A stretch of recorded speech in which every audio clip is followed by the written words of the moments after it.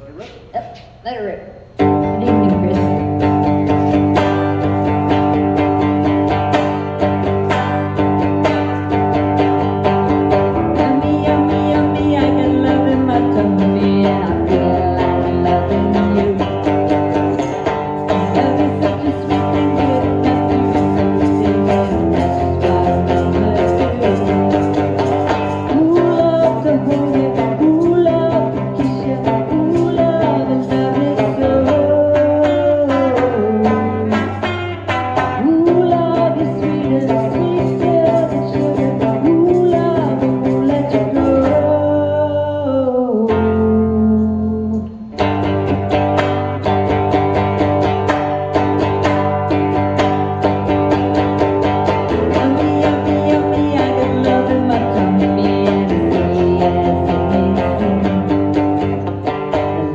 let you